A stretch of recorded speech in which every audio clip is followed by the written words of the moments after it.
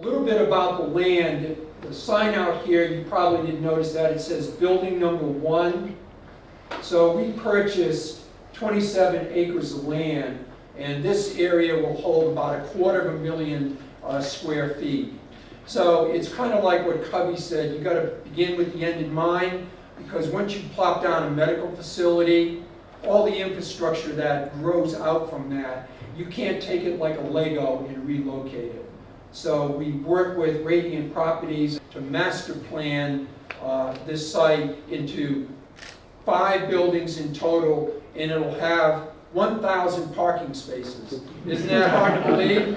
But we are very focused on emotional and spiritual health, being a faith-based health system. And that's why in back of me, there's this Serenity Garden.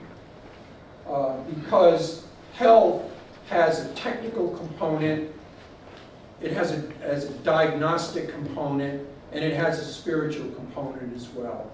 So that's why we put a Welcoming Christ in back of me, which incidentally is 12,000 pounds of pure marble that took uh, four months to carve. This first building that we're in right now is 15,000 square feet, and it's going to have urgent care, uh, primary care, and something that the mayor has been talking to me about for quite a while, which is space for specialists. Um, Richmond Hill needs space where we can get specialists out here in addition to primary care and urgent care. So we'll be having cardiologists here, neurologists, podiatrists, and um, in a little while after that, we'll have OBGYN physicians who will be out here as well. Um, we're also going to have a very robust wellness and well-being program. The Be Health program which we're very proud of, is going to have uh, lectures, it's going to have uh, exercise classes, and it's also going to have screenings.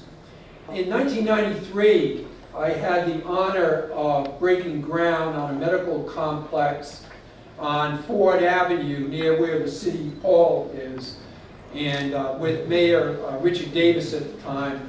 And uh, at that time, many of you know, GA 144 was, as they say, a road less traveled. It was essentially a, a two-lane uh, road when we broke ground and built that building. And uh, that's no longer the case. 19 months ago, uh, we were across the street at the Outfitter Center when we announced our partnership with um, Raydient Properties. And uh, on Monday, um, this building opens and patients will be here.